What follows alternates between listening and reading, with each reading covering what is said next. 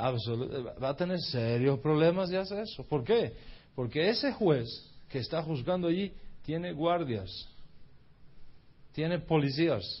Y esos policías, cuando usted salga por ahí, lo van a agarrar, quiera usted o no quiera, le van a poner esposas y lo van a meter en la cárcel hasta que usted pague. Y si usted sigue con su juego, le van a salir más cargos y más cargos y falta de respeto a la autoridad y falta de respeto al tribunal y se le va a complicar la vida y posiblemente se meta seis meses en la cárcel. ¿Por qué? Porque ese tribunal tiene el respaldo del gobierno. Y como tiene el respaldo del Estado y tiene el respaldo del gobierno y tiene policías, si usted no acata voluntariamente la decisión del juez, lo van a hacer que las haga obligadamente. ¿Me sigue? Ese era Shammai. Hillel tenía su tribunal. Venía y decía, tienes que pagar 80 quetzales por haberte violado la luz roja. Pues mire, no le voy a hacer caso. Pues Shammai tenía que decir, bueno, el Eterno verá qué va a hacer contigo. Pues él no tenía policía para ponerlo preso. Ese es Hillel. Vemos la situación como estaba en el país. Sí, Hillel tenía su escuela donde formaba sus discípulos. Shammai tenía su escuela donde formaba sus discípulos. Entonces, las tensiones entre ambas escuelas eran gravísimas. Gravísimas. Había, Shammai decía una cosa y Hillel decía otra. ¿A quién le va a hacer caso el pueblo? ¿A Hillel o a Shammai? Había que hacerle caso a Shammai porque era el que tenía la policía. Hillel, ¿quién le hacía caso a Hillel? Sus discípulos. Los que no eran sus discípulos. Pues, imagínense, esa era la situación. Podemos, vamos ubicándonos en lo que estaba pasando. Con respecto de los gentiles,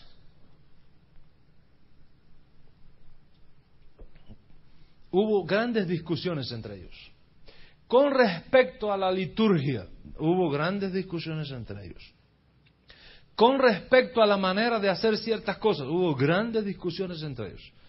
En el Talmud, que es un libro judío que se escribe aproximadamente en el año 500 después de Yeshua, se registran 350 50 controversias entre la casa de Shammai y la casa de Gilel. Entre la casa de Shammai y la casa de Gilel. El rabino Shaul, desde muy niñito, vino para Jerusalén a estudiar judaísmo. ¿Dónde estudió judaísmo Pablo? En la yeshiva de Gamaliel. De Gamaliel, la yeshiva de Gamaliel. ¿Y quién era el, autor, el padre, el creador, fo- for- formador de la yeshiva de, de Gamaliel? Hillel. No Shammai, Hillel. Entonces, si nosotros no conocemos cuál era la enseñanza de Hillel, que fue la de Gamaliel, que fue la que le pasó a Pablo, nosotros vamos a interpretar mal a Pablo. Porque muchas de las cosas que Pablo dice y enseña las hizo siguiendo los principios de interpretación dados por Hillel, no por Shammai. Nos vamos acercando a Gálatas poco a poco. Poco a poco. Todo esto es para llegar a Gálatas. Esperamos llegar a Gálatas. All right. ¿Me sigue? Por ejemplo, por ejemplo, Shammai decía, cuando se va a establecer qué es permitido o no llevar en Shabbat, que es un asunto de mucha discusión en el judaísmo y todavía lo es. Eh, para que usted vea cómo, cómo, cómo funciona la jurisprudencia judía. Desde el punto de vista de la ley judía, usted puede mover algo que pesa un cuarto, dos onzas en Shabbat y puede que se considere una violación del Shabbat. Mientras que puedes mover una cosa que pesa cinco toneladas y no es una violación del Shabbat. Técnicamente. Por ejemplo,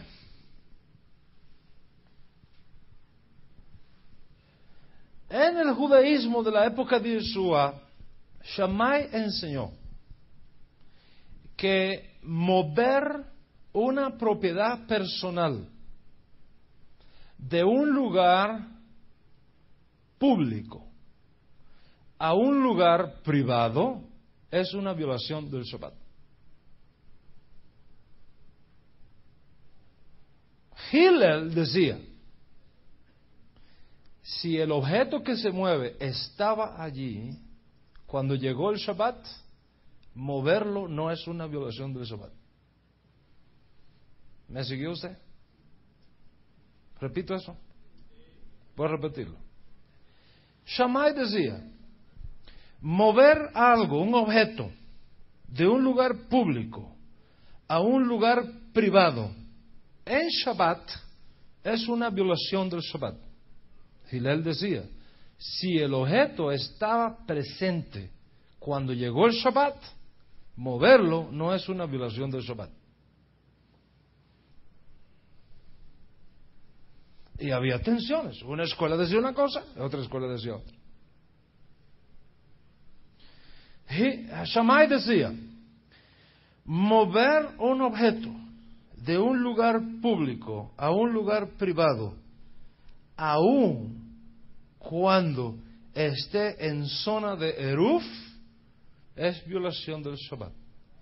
Gilel decía, mover un, objeto de un lugar público a un lugar privado, si estaba en el lugar ya para Shabbat, no viola las leyes de Eruf. Eruf es un concepto judío de la jurisprudencia judía de qué área se puede andar en Shabbat sin que constituya una violación del Shabbat. Por eso que usted ve en la Biblia, en el Nuevo Testamento, cuando usted lee camino de un día de reposo. ¿Verdad? Camino de un día de reposo. ¿Qué quiere decir camino de un día de reposo? Ese es el Eruf. Es la distancia máxima que se permite caminar en Shabbat sin que se considere violación del Shabbat.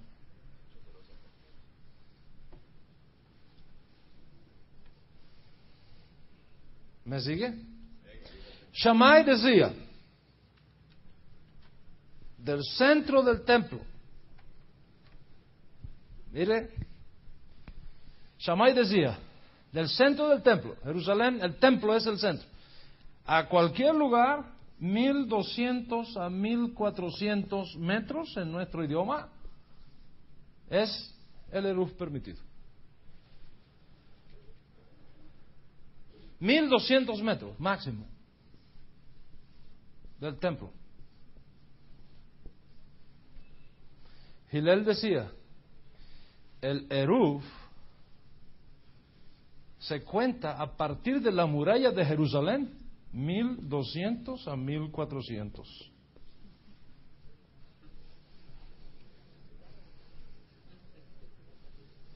El Eruf para Shammai era el monte Moriah. El Eru para Gilel era después de la muralla 1200 a 1400 metros. ¿Me sigue? Yeshua se encuentra en el estanque de Siloé a un paralítico. Día de Shabbat. Y le dice, ¿por qué estás aquí? Sé porque nadie me, Cuando el agua es revuelta, nadie me lleva y cuando llego ya entraron y me quedo siempre. ¿Qué tiempo llevas aquí? 38 años. 38 años en lista espera. Y nadie se compadecía de ese pobre hombre. Que cuando me el agua lo tiraron, aunque sea de lejos así. Nadie. Todo el mundo le daba adelante. Y llevaba 38 años ahí en lo que el hombre iba. Ya, se había terminado el movimiento del agua y ya se había acabado la sanidad. Y Jesús le dice, ¿quieres ser sano? ¿Te imaginas? ¿Quieres ser sano? 38 años, nadie se había dado cuenta que él estaba ahí. Y un hombre viene a, interesarse por él. ¿Quieres ser sano? Pues, pues por eso que estoy aquí. Claro. Entonces, levántate y anda.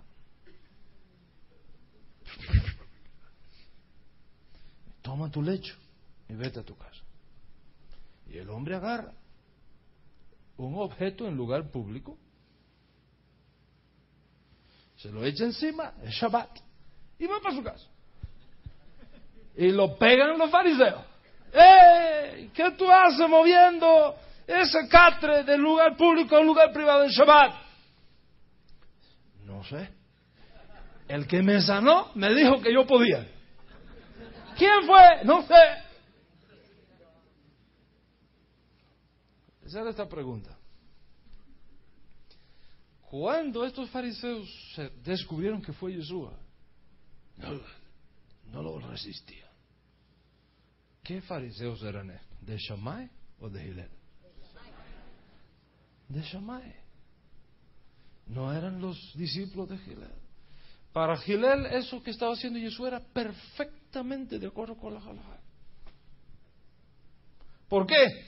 Primero, estaba ahí ya cuando llegó Shabbat. Segundo, el Eruf es toda la ciudad amurallada de Jerusalén. Por lo tanto, cuando usted vivía aquí y este fenómeno dio aquí, y tú vas de aquí a aquí, tú no vas de un lugar público a uno privado, te estás moviendo dentro de un lugar público porque eso es el Eruf.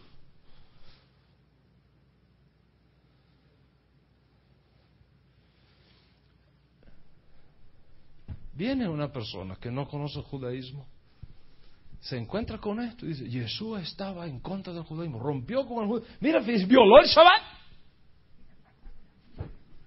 Fíjese si Jesús estaba en contra del Shabbat, que violó el Shabbat. Y le menciona ese texto. Yeshua no estaba violando el Shabbat, estaba echando abajo las interpretaciones equivocadas del Shammai, no del Shabbat.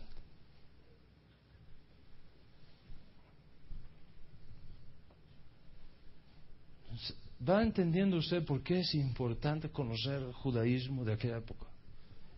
Para que usted no cometa el error de decir que Jesús estaba violando el Shabbat.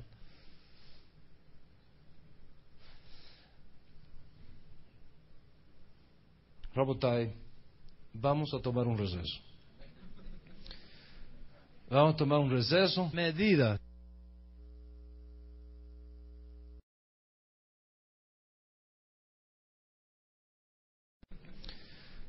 Vamos a tomar un receso. Medidas legales. 18 exigencias para cualquier gentil que quisiera hacerse judío. Tenía que pasar 18 pruebas. Y, luego de pasar esas 18 pruebas, si lograba pasar esas 18 pruebas, no le garantizaba que, tenía su salvación. Era difícil, sumamente difícil lograr un converso en los días cuando Shammai era jefe del Sanedrín. Shammai, y quisiera decir algo a favor de él, no es fácil decir algo a favor de él, pero tratemos de entender el Shomai. Su país está invadido por paganos. Le están montando altares a todos los dioses en lugares específicos. Hasta un símbolo del César le pusieron en la entrada de uno de los edificios que construyó Herodes previo al atrio del templo, con el águila romana. Entonces, muchos gentiles asistían a, las sinagogas y ah, no llegaban al paso de la conversión final de hacerse judíos porque no era fácil hacerse judío debido a esos 18 decretos establecidos por Shammai. Y más bien la mayoría se quedaba como gentiles temerosos de Dios, que se le conocía. En la Biblia usted encuentra prosélitos y encuentra temerosos de Dios.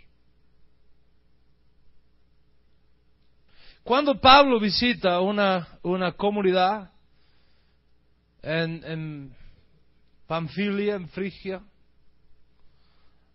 después de la lectura de la Torá y de los profetas, le dan la palabra. Y Pablo dirige su, su, su, discurso a aquella audiencia diciendo, varones israelitas y los que entre vosotros teméis a Dios.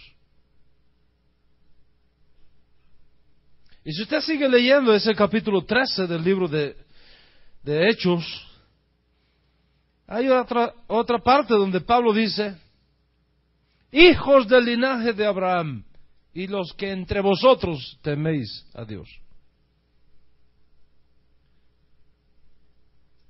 ¿Quiénes son los hijos del linaje de Abraham? Bueno, los judíos. ¿Y quiénes son esos temerosos de Dios? Gentiles que se habían convertido al, al de Israel, habían abandonado los ídolos, pero no habían llegado al punto de hacerse judíos. A ellos le llamaban temerosos de Dios. Capítulo 10 de Hechos, nos encontramos con un militar romano conocido como temeroso de Dios. Y esa frase temeroso de Elohim significa que ya no era un pagano. Había dejado la idolatría, había dejado el paganismo, sin llegar a hacerse judío cuando lograba pasar los 18 decretos establecidos por Shammai, entonces le hacían la conversión y luego se le llamaba prosélitos. En el libro de Hechos, capítulo 2, el verso 10, dice, romanos aquí residentes, tanto judíos como prosélitos. esa palabra prosélito significa un converso del proveniente de los gentiles.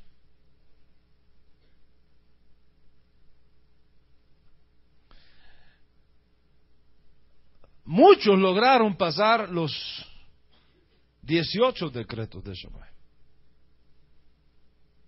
Y se hicieron judíos. Y luego de haber pasado todo ese proceso de instrucción, probando que su decisión de hacer su Dios era seria, etcétera, etcétera, etcétera, muchos de ellos oyeron hablar de Yeshua y le reconocieron como el Mesías de Israel. Le siguieron como su Mesías. En el movimiento netzarita del primer siglo había judíos y prosélitos. Judíos y prosélitos. Y eventualmente también temerosos de Jesús. Eso es importantísimo conocer. Porque fueron estos prosélitos que conocieron a Yeshua después de haber sido hechos judíos los que confrontaron a Pablo y enseñaban en los lugares donde Pablo iba que esos gentiles que estaban haciendo la conversión al, al Dios de Israel, al Eloa de Israel, tomando como mérito la vida, muerte y resurrección de Yeshua HaMashiach, tenían que hacerse judíos como ellos. Y que tenían que pasar por todo eso para poder ser recibidos en la comunidad de Israel.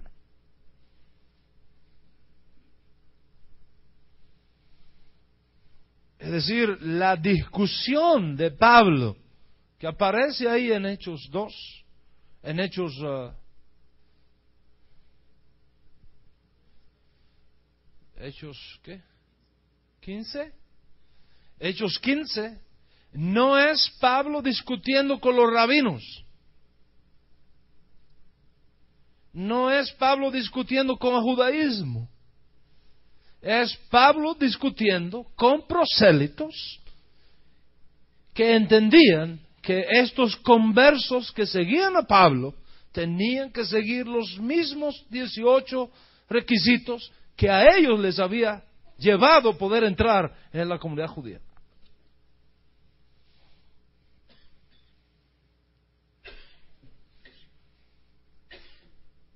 ¿Nos vamos ubicando? Bien. Otro concepto importante que es necesario tener en cuenta es el concepto de ley en el judaísmo en aquella época. Concepto de ley. Porque Pablo en Gálatas, que es el libro que nos ocupa, va a hacer uso de una serie de frases que son importantísimas conocer y de no conocerlas, uno corre el riesgo de interpretar mal a Pablo. En, el judaísmo, la palabra ley tiene muchas acepciones, dependiendo del contexto. Usted puede determinar de qué se está hablando. Ley es la traducción del griego nomos. Y nomos, a su vez, es la traducción del hebreo Torah. Y Torah, a su vez, viene de una raíz que está relacionado con arco y flecha. Es decir, cómo enseñarle a una persona a, tirar con arco y flecha, para que la flecha dé en el blanco.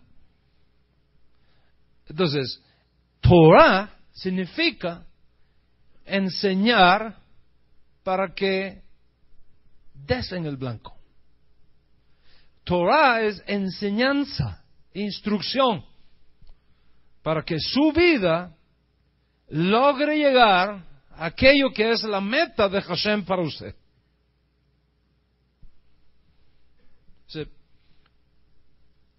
No pienses en la en ley como algo que te restringe, como, como algo que te esclaviza, como algo que te lleva al legalismo, como, como algo que te priva, que te roba, que te minimiza, porque ese no es el concepto de ley en el judaísmo, es el concepto de ley en Roma pero no en Israel. En Israel, ley, Torah, en el judaísmo, Torah significa instrucción, enseñanza, manera de hacer las cosas para que esto funcione y alcance sus objetivos. La Torah en el judaísmo no se ve como algo que te oscurece el camino, sino que te lo alumbra. Lámpara es a mis pies su palabra y lumbrera a mi camino. La Torah no se ve en el judaísmo como algo que te roba tu libertad, todo lo contrario, te, te da libertad, la verdadera libertad. no la libertad falsa que profesa el mundo, que conduce a la disolución, sino la libertad de poder tomar opciones compatibles con la santidad y la justicia. Andaré en libertad porque guardé tus mandamientos, dice la Torah. Cuando Hashem tiene que hablar a, a, el sucesor de Moshe, le dice, nunca se apartará de ti este libro de la Torah, este rollo de la Torah.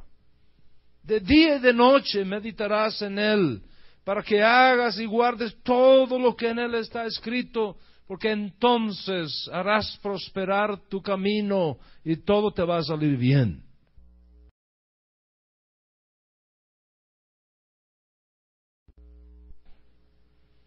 Bendito es el varón que no anduvo en consejo de malos, ni se ha sentado en silla de escarnecedores, sino que en la Torah de Hashem medita de día y de noche, será como árbol plantado junto a corrientes de aguas, que da su fruto a su tiempo y su hoja no cae, y todo lo que hace prosperará. ¿Con qué limpiará el joven su camino? Con guardar tu Torah. En mi corazón he guardado tus dichos para no pecar contra ti. La ley de Hashem es perfecta, que convierte el alma. El mandamiento de Hashem es puro, que hace sabio al sencillo. En, el judaísmo, Torah tiene un sentido positivo. Luz, verdad, justicia, santidad, éxito, prosperidad, salud.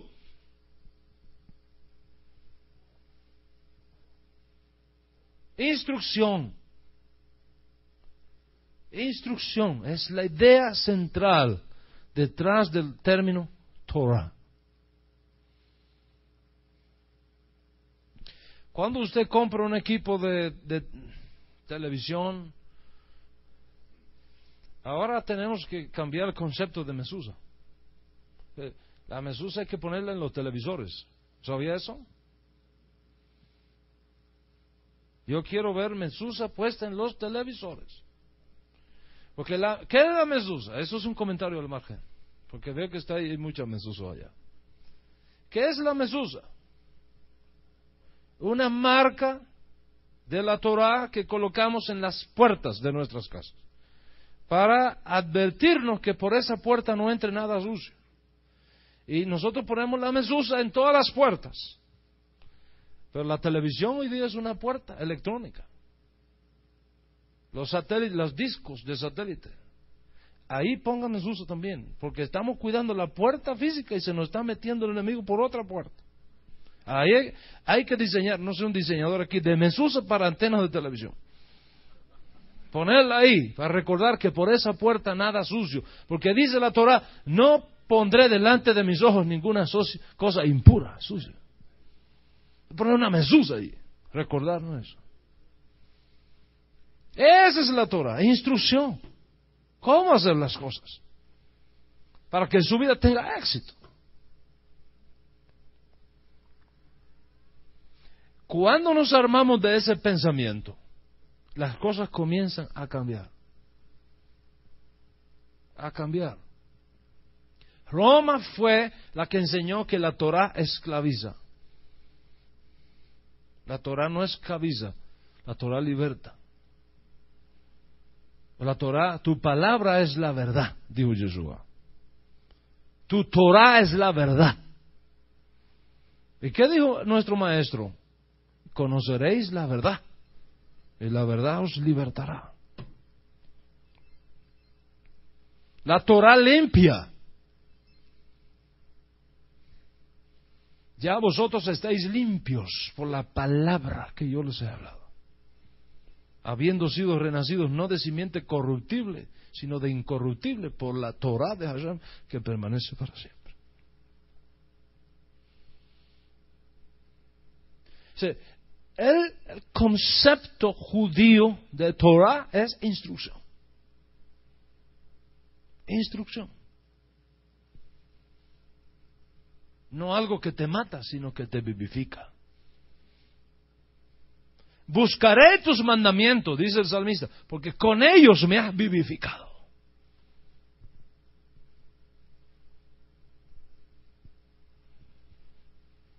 Esa es la primera cosa. La segunda cosa, desde el punto de vista técnico, Torah se refiere a los cinco libros de Moshe, el Humash, los cinco libros de Moshe.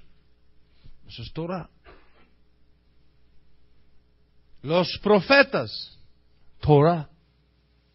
Los escritos, los el resto de los escritos que conforman la escritura hebrea, Torah. El profeta Isaías comienza la sección de los profetas, por eso se conoce como el profeta Isaías, los dichos de Isaías. El profeta con que comienza esa sección de los profetas en la escritura. En el judaísmo, la importancia de esto es que en el judaísmo se puede mencionar un profeta y decir que es Isaías. No porque necesariamente sea del libro de Isaías, sino de la sección de los profetas que comienza con Isaías. Por eso que en el libro de Marcos, Meir, por ejemplo, dice, como está dicho en el profeta Isaías, y menciona Malaquía. ¿Por qué? Porque Malaquía está en la sección que Isaías es el, el que abre esa puerta. El libro de los Salmos, Teilín, comienza la sección de los escritos. Por lo tanto, el libro de los Salmos se considera la tercera parte de la escritura. Por eso que Jesús dice, dice que les abrió el entendimiento y les fue mostrando por los escritos de Mosé, de los profetas y de los salmos, todo lo que de él decía. cuando un rabino está hablando, puede que esté hablando de la Torah de Mosé, puede que esté hablando de los profetas, puede que esté hablando de los escritos, puede que se refiera a todos. Siempre con la idea de instrucción. ¿Me sigue usted? Ahora, en el judaísmo, las interpretaciones de los jueces de Israel, de la manera que ciertos textos bíblicos deben ser interpretados, se considera también bajo la idea general de Torah. Torah. Para hacer la diferencia entre la interpretación de los rabinos y la escritura, se habla en términos de Dibrei Torah y Dibrei Zoferim. Las palabras de la Torah y las palabras de los escribas. Son interpretaciones de la Torah.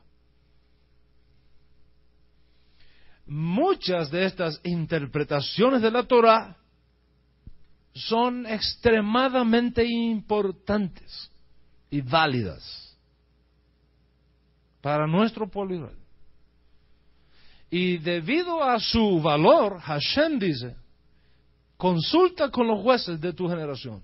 Y conforme ellos te digan, así es. No te apartes de lo que ellos te digan. Y cualquiera que se aparte de lo que ellos digan, sea echado de Israel. Esto es importantísimo. Importantísimo. ¿Por qué? Les voy a dar un ejemplo. ¿Quiere mirar ahí en su Biblia en Devarim capítulo 23, el verso 3, qué dice? Devarim, Deuteronomio. Quinto libro de Mosé. Capítulo 23.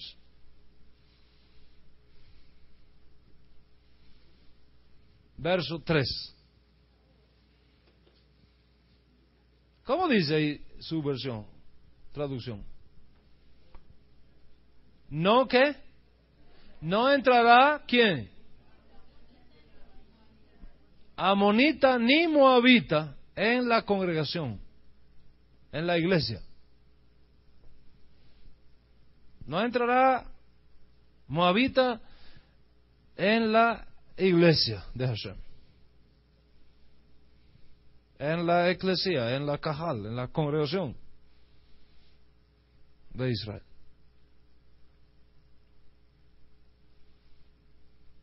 No entrará Moabita. ¿Cómo entró Ruth? Que era Moabita.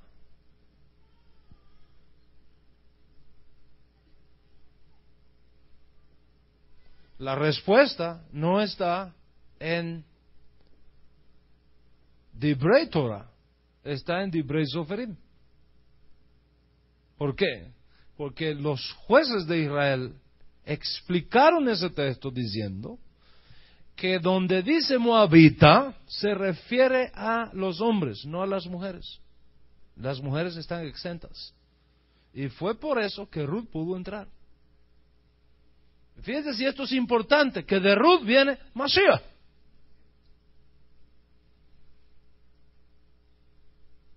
En otras palabras, el Mashiach pudo venir porque hubo un juez de Israel que dijo, este texto significa que las mujeres sí pueden entrar, los hombres no.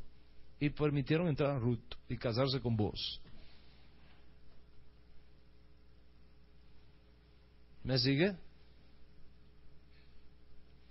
muchas de las interpretaciones de los jueces estuvieron equivocadas.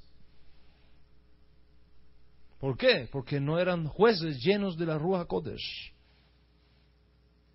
Por eso el profeta Isaías dice, le restauraré sus jueces como al principio.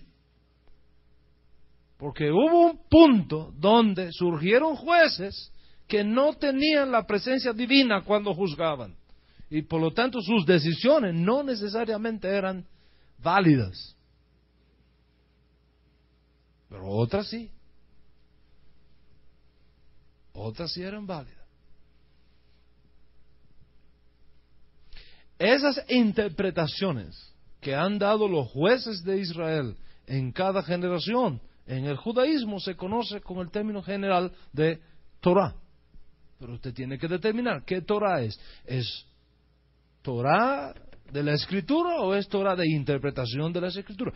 Depende de lo que se esté hablando. ¿Me va siguiendo usted?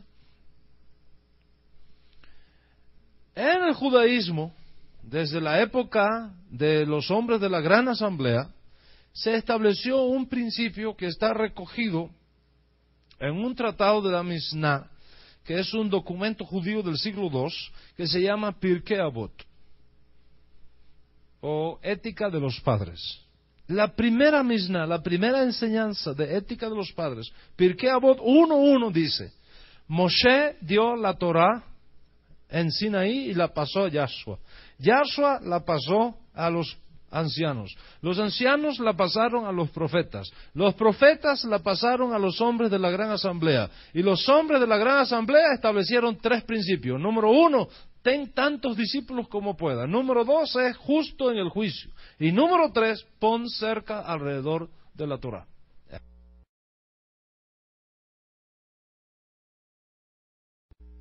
Un principio importante. Pon cerca alrededor de la Torah. ¿Qué cosa es cerca alrededor de la Torah?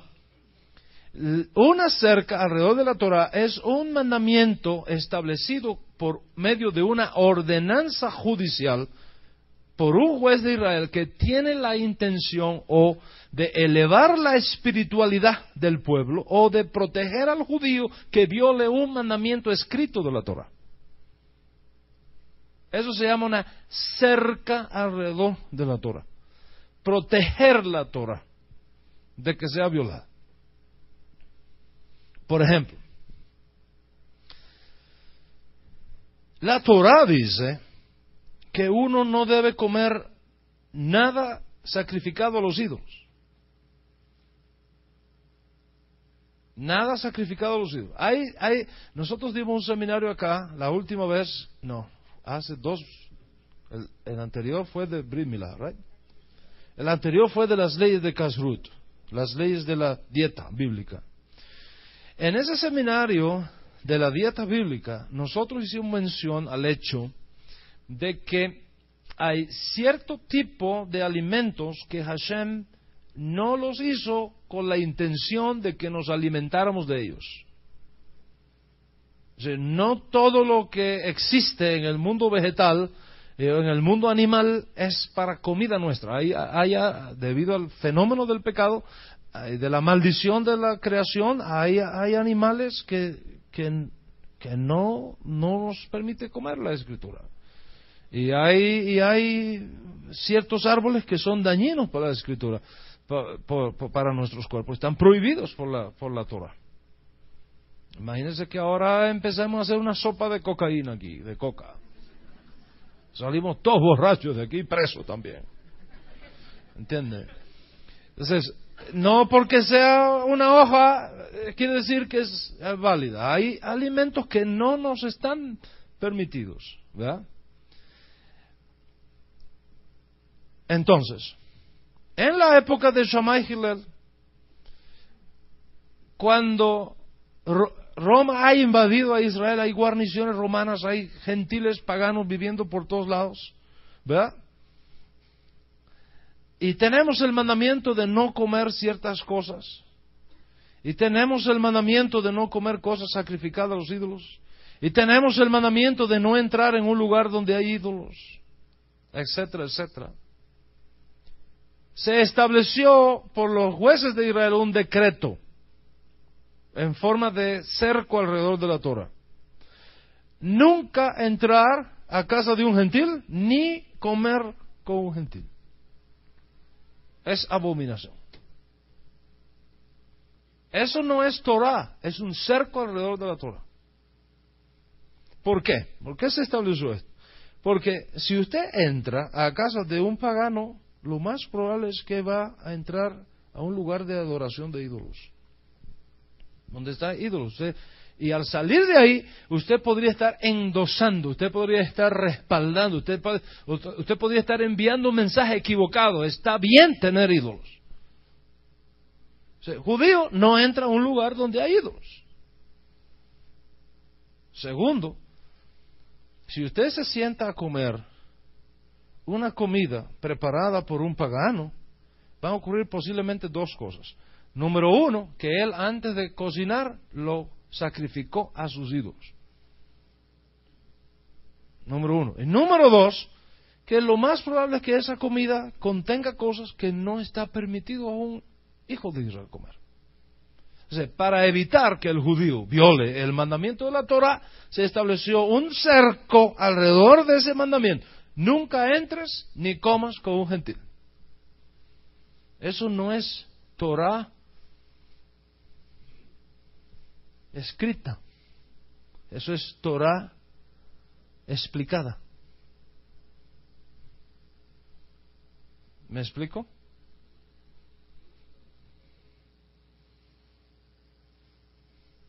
En el judaísmo, el nombre técnico que eso recibe son mandamientos en forma de ordenanzas. Mandamientos en forma de ordenanzas. En la época de Yeshua y de Pablo, había no menos, no menos de tres mil gezerot y takanot. Mandamientos en forma de ordenanzas. Cerco alrededor de la Torah. La gente estaba hasta aquí de mandamiento. Hasta aquí estaba de mandamiento. en vez de leer la Torah, se estudiaba los cercos alrededor de la Torah. los cercos eran tan grandes que no se veía la Torah. los cercos eran tan grandes que no se veía Mosé. Y Yeshua luchó contra eso.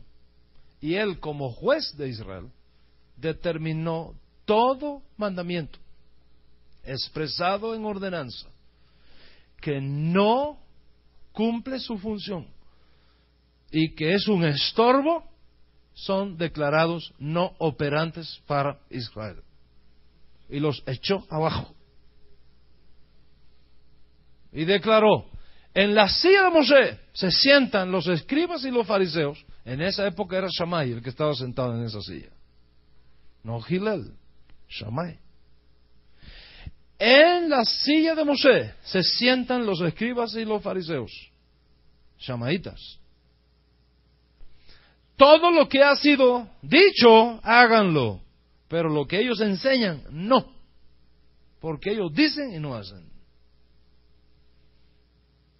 En otras palabras, Jesús está diciendo, lo que Moshe enseñó, síganlo. Lo que está enseñando Shammai, no lo sigan. ¿Y qué le dijo a Shammai? Tu casa será dejada desierta. Ese fue el enfrentamiento de Yeshua y fue también el enfrentamiento de Pablo.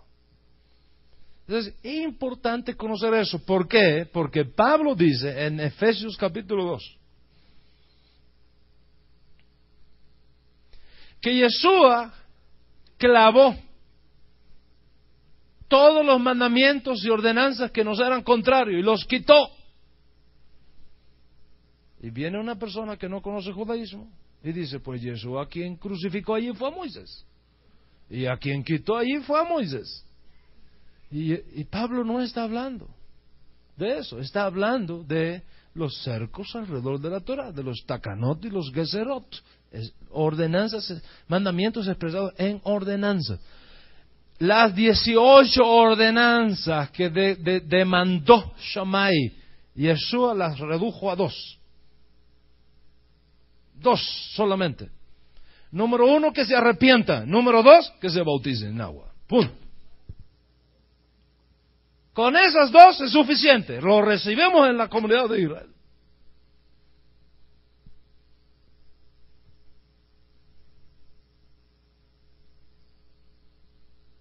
Y Yeshua no está haciendo una cosa rara, porque eso fue enseñanza después de los rabinos. Si usted lee la Gemara, por ejemplo, en el Talmud, se discute esto. Y dice, 613 mandamientos fueron dados a los hijos de Israel. Vino David y dijo, esto es mucho mandamiento para Israel. Y lo redujo a 11. David redujo a 11. Está en un salmo. ver qué salmo es para decírselo de una vez.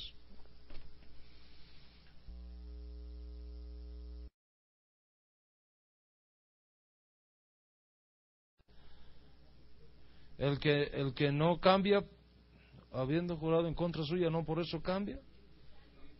El 15, ese, ese, ese, ese, ese. Ahí está.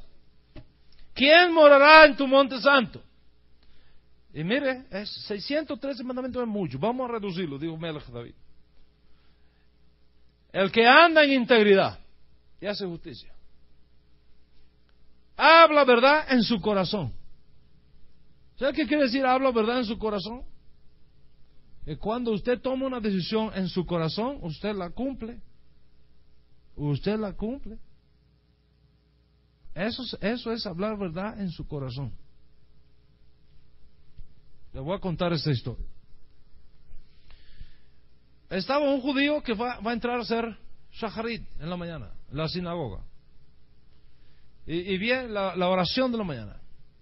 Y viene un, señor y, le dice, te compro tal cosa por tanto. Y el hombre está entrando a la sinagoga para hacer shaharit. Y viene el otro y dice, oye, te compro tal cosa. Vamos a decir que un número, 100 dólares. Te compro eso por 100 dólares. Y el hombre sigue caminando.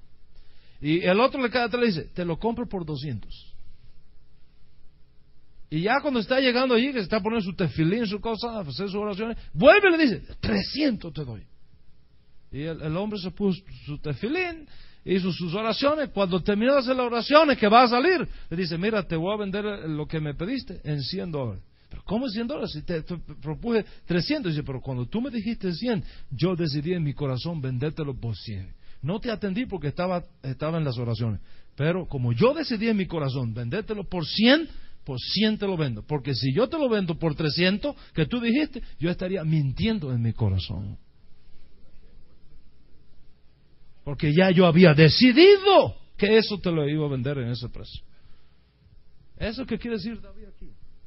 Eso es Dice, habla verdad en su corazón. Sigue, dice, el que no calumnia con su lengua. No hace la shonjara. No calumnia con su lengua. Ni hace mal a su prójimo. Ni admite reproche alguno contra su vecino. No lo admite. Y viene alguien a hablarle mal de su hermano. Un momento, no, no hables mal del hermano. ¿Usted sabe por qué existen los chismosos? Porque está el que le gusta oír al chismoso.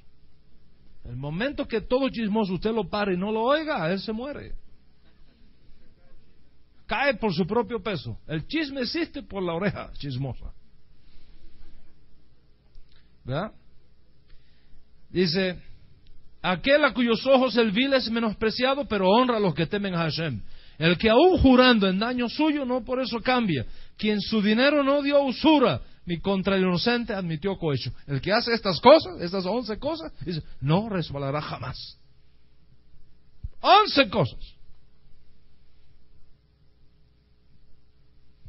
Después vino el profeta Mica, Miqueas, y la redujo a tres. Dice, once es mucho todavía. Tres, nada más. Y después vino Habacuc y la redujo a uno. El justo por la fe vivirá. Uno solo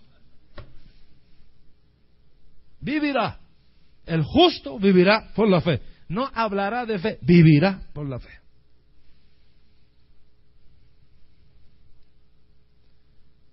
Eso está en el Talmud.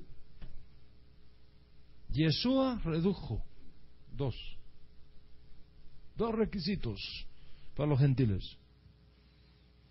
Que se arrepientan, hagan mikve, bajen a las aguas y que sean recibidos en la comunidad.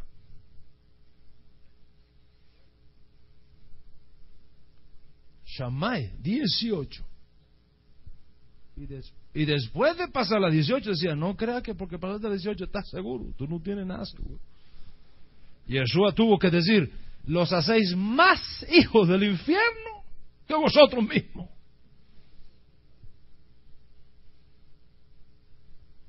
recorréis mar y tierra para lograr uno. Y después que lográis uno, lo hacéis más hijos del infierno que vosotros. Hay de vosotros, escribe el fariseo, está hablando contra Shammai, no contra Gilel.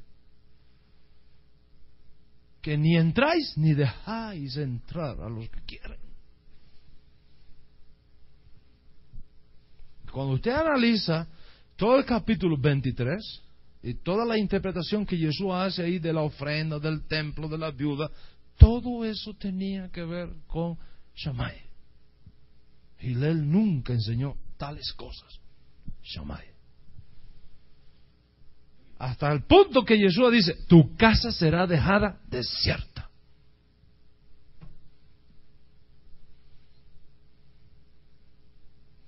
Y en efecto, cuando cayó el templo, el año 70 y se reconstruye el, el Sanedrín otra vez de Israel en Yafne y se toma, llegan los rabinos, todos los rabanim allí, encabezados por Yohanan Ben Zakai, dice, ¿qué vamos a hacer? ¿Vamos a seguir con la, la, la halajá de Shammai o con la halajá de Hillel? Y dice que se oyó una voz del cielo que decía, la halajá de Shammai nunca será misna en Israel. Y desde entonces, la halajá que se sigue es la de Gilel, no la de Shammai.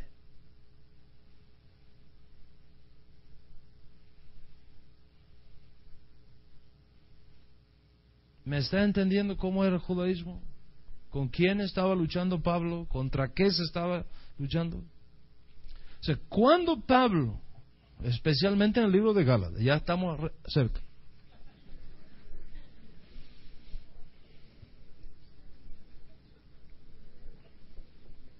Ya estamos a llegar a Gálatas. Cuando Pablo habla ahí de la ley, usted tiene que cuidarse cómo usted interpreta esas palabras.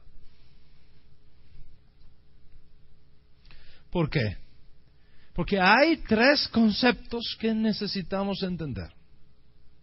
Dos son negativos, uno es positivo. Dos son peligrosos, uno es apropiado. ¿Cuáles son esos conceptos? Número uno, obras de la ley. Obras de la ley. Número dos, bajo la ley. Número tres, hacedores de la ley. Tres cosas diferentes. Vamos a mirar por la escritura ahora. Mire un momento en Romanos. Ya estamos más cerca de Gálatas, ¿ve? Romanos capítulo 2. El verso 13. 13. Romanos 2, versos, verso 13. Porque no son los oidores de la ley los justos ante Dios, sino quienes? Los hacedores de la ley serán justificados. Oiga, ¿qué dice Pablo ahí? Los hacedores de la ley serán justificados.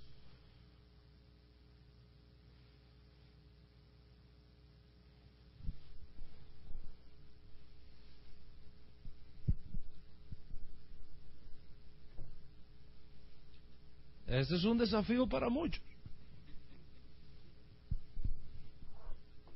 Los hacedores de la Torah. Déjeme explicar la diferencia. Pablo dice, por las obras de la ley nadie será justificado. Obras de la ley. Pero dice, los hacedores de la ley serán justificados.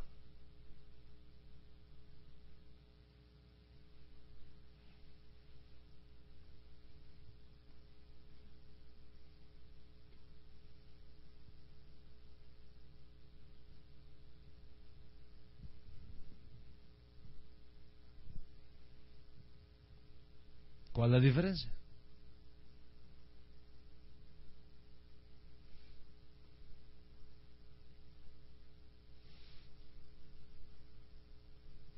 Vamos a dejarlo ahí, que ya volveremos ahí.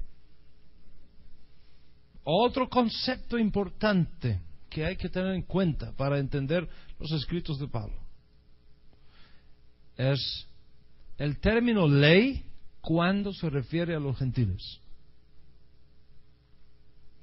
Es importantísimo. Mire en su Biblia, en Efesios,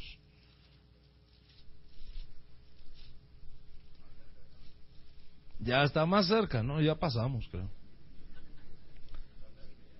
Efesios 2. Mire un momentico, Efesios 2.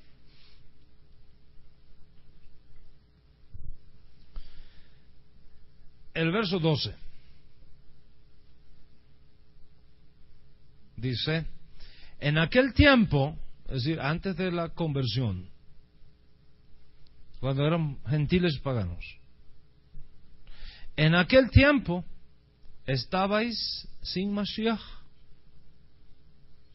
alejados de la ciudadanía de Israel, ajenos a los pactos de la promesa, sin esperanza y sin Eloa, sin Dios en el mundo.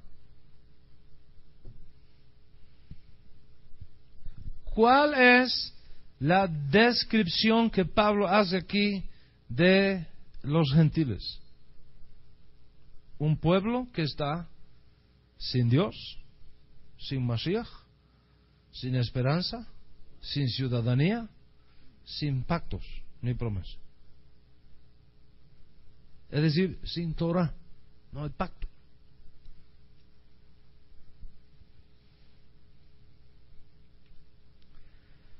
Entonces, desde el punto de vista de Pablo, los gentiles están sin nada de esto. Pablo no ve estar fuera de Mashiach. Pablo no ve estar fuera de la ciudadanía de Israel. Pablo no ve estar alejados de los pactos de la promesa, sin esperanza y sin Dios en el mundo, como una bendición.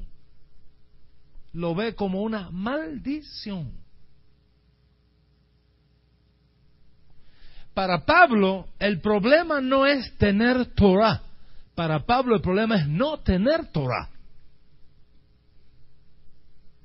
Para Pablo el problema no es tener pactos. Para Pablo el problema es no tener pacto ni promesa.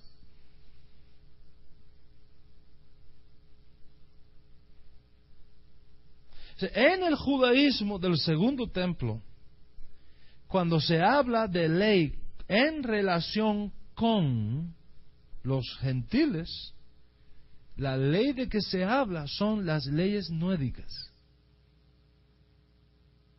establecida por los rabinos como los requisitos mínimos que deben seguir los temerosos de Dios. No los prosélitos, los temerosos de Dios. ¿Cuáles son esos siete, siete mandamientos para los temerosos de Dios? No idolatría, no blasfemia del nombre, no comer de, animal que todavía vive, no, no inmoralidad sexual, no asesinato, no, no sangre de animales y, ah, ah, y establecer cortes de justicia. Esos son los siete mandamientos que establecieron los rabinos para los gentiles, temerosos de Dios, no los prosélitos, temerosos de Dios. Entonces, cuando se habla de ley en relación con los gentiles, está hablando de ley noédica, de las siete leyes de Noé, no está hablando de Moshe. No está hablando de, de Har Sinaí, no está hablando de los 613 mandamientos, no está hablando nada de eso, está hablando de las siete leyes noéticas. Esto es importante para que cuando usted lea a Pablo en una carta dirigida a los gentiles, no la aplique de la misma manera que usted lea a Pablo cuando escribe una carta a los judíos. No es lo mismo la carta a los hebreos que la carta a los gálatas.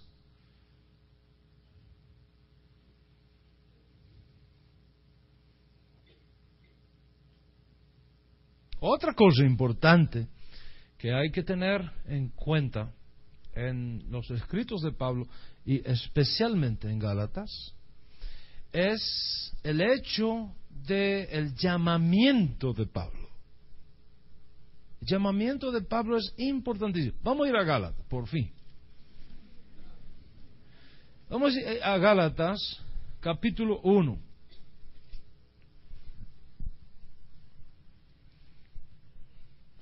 Y vamos a mirar el verso 15 y 16.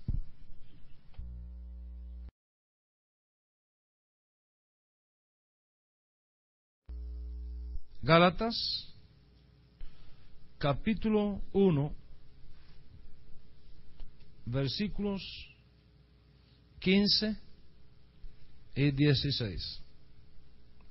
Dice, pero cuando agradó a Hashem que me apartó desde el vientre de mi madre y em, me llamó por su gracia, revelar a su Hijo en mí, para que yo le predicase entre los gentiles. Observa eso. Para que yo le predicase entre los gentiles. Esto fue Usted ha oído un dicho popular que dice, al que no quiere caldo se le dan tres tazas. ¿Han oído ese dicho? Yo recuerdo a mi madre de bendita memoria. Cuando ella me iba a dar algo y yo refunfuñaba y decía que no, decía, oye, al que no quiere caldo se le dan tres tazas. Decía, no, deme una entonces. si no me daban más, ¿verdad? A que aprendía la lección. Pablo nunca tuvo en su agenda ser un emisario a los gentiles. Jamás. Eso no le pasó por su idea, por su mente.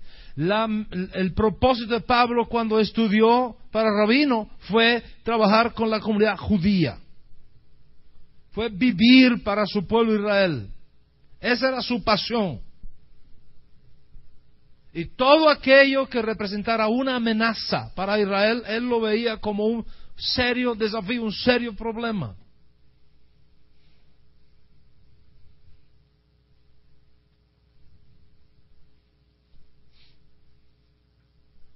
Pablo no concebía la idea de un Mesías que sufriese y muriese. Para él el Mesías era un Mesías invicto.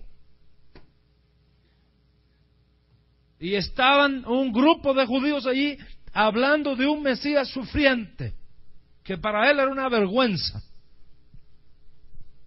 No aceptaba aquello. Y en su opinión, esa, esa enseñanza que se estaba dando entre los nezaritas era una, era una violación de la ley judía y una amenaza para el judaísmo. Y él sintió su deber evitar a toda costa que esto prosperara.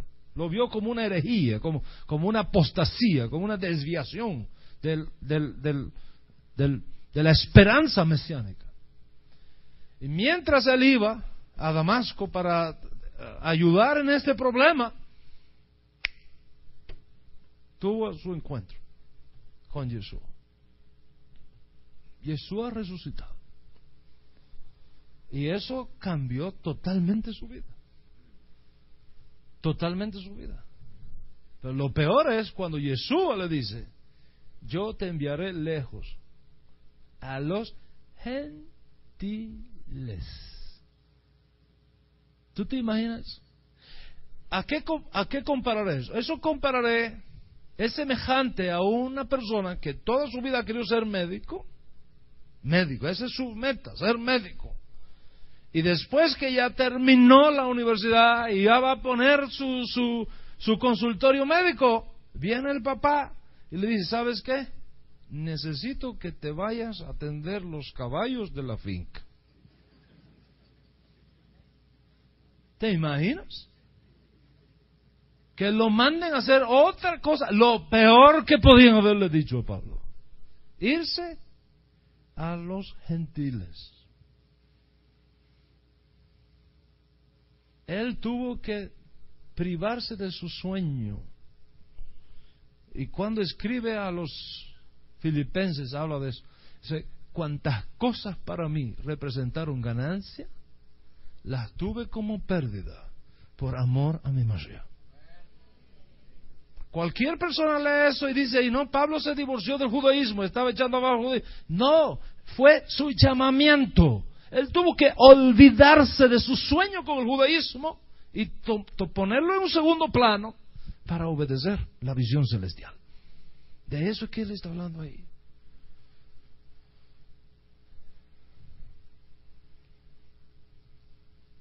Cuando usted comienza a armar todas estas piezas, su su entendimiento de Pablo, de la teología de Pablo, de, la enseñanza de Pablo, de los escritos de Pablo, comienza a cambiar su perspectiva de todo esto.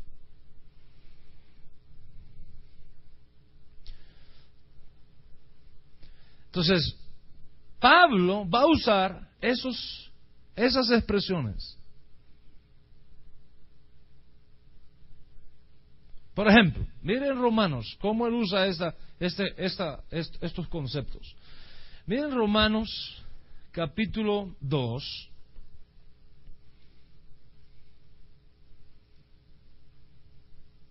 Versos 26 y 27. Mire ahí en su Biblia. Romanos 2,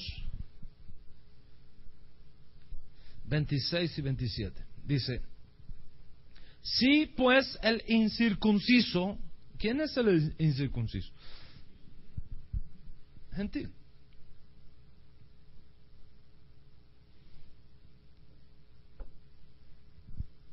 Si pues el incircunciso guarda, guardare las ordenanzas de la ley. ¿Qué ordenanzas de la ley son esas si un incircunciso no tiene ley?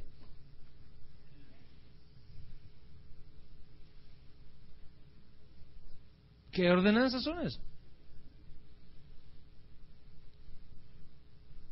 Si ya Pablo ha dicho, acordaos que en otro tiempo vosotros los gentiles en cuanto a la cárcel no teníais pacto, ni promesa, ni ley, ni nada.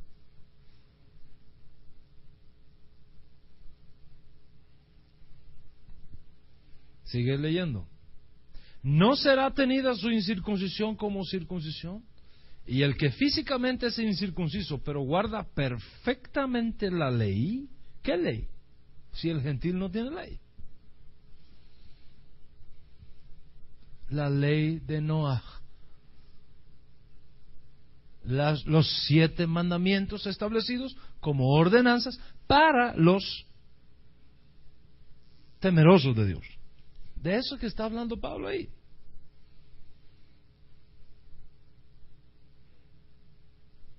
En otras palabras, si un temeroso de Dios, un, gentil temeroso de Hashem, que se ha abandonado los hijos, que se sujeta a los siete principios de Noah, los guarda perfectamente, y acá tienes un judío que, que, tiene más mandamientos que cumplir, es decir, más posibilidades de servir a Hashem, más posibilidades de, de desarrollar su espiritualidad, porque tiene más oportunidades. Los mandamientos son una bendición de Hashem. Y tiene más